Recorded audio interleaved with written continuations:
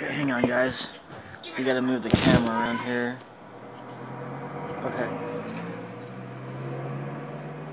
So, I'm reviewing, honestly, one of the best movies ever made in the 90s, honestly.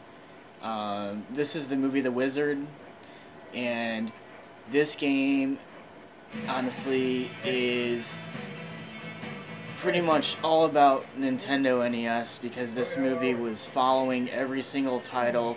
It follows the life of a young family, um, and his brother basically is uh, he has some issues um, with learning disabled, um, but yet he's a complete genius because he's very good at playing video games.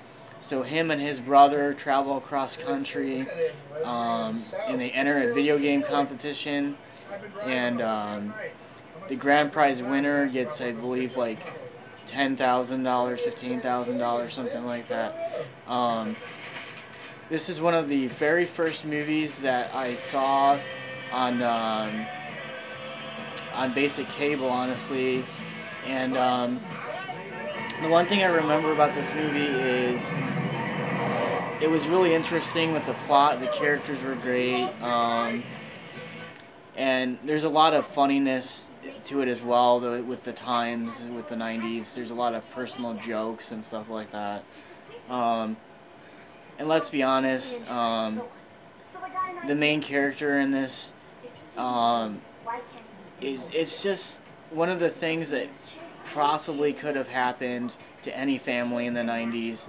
Um, but this movie is a movie that I'm going to give 10 stars because there's nothing wrong with this. And if you love Nintendo, The Wizard is the right movie for you. Um, 10 stars, recommend it, watch it, great. Um, and have an open mind because some of the other video game titles, uh, you know, movies uh, weren't bad either. Um, I mean, you could go down the list. I mean, so Super Mario Brothers was okay.